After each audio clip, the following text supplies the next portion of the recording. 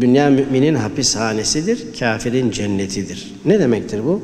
Kardeşim mümin misin sen? Dünya senin için hapishanedir. Ne demek hapishanedir? Hapishanedeki insan her istediğine ulaşabilir mi?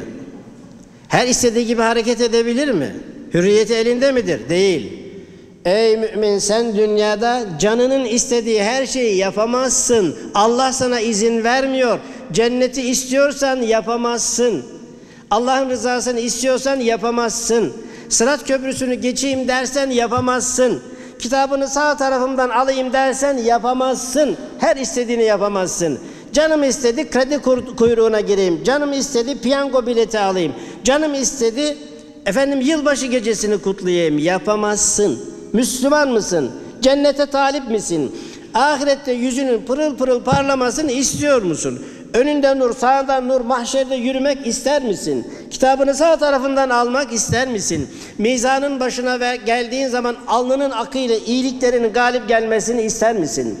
Sırat köprüsüne geldiğin zaman şimşek gibi karşıya geçmek ister misin? Eğer bunları istiyorsan dünya sana hapishanedir. Her arzu ettiğini yapamazsın. Her kadın açılmak saçılmak isteyebilir. Açılamazsın.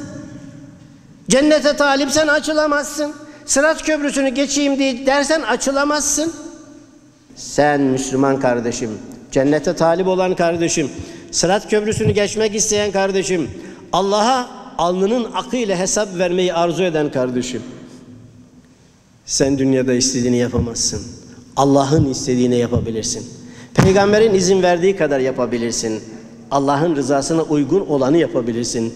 Canının istediğini değil, hanımın istediğini değil, çocukların istediğini değil, arkadaşlarımın istediğini değil, patronun istediğini değil. Allah'ın istediğini ön, ön plana koyacaksın. Dünya müminin hapishanesidir. Kafirin cennetidir.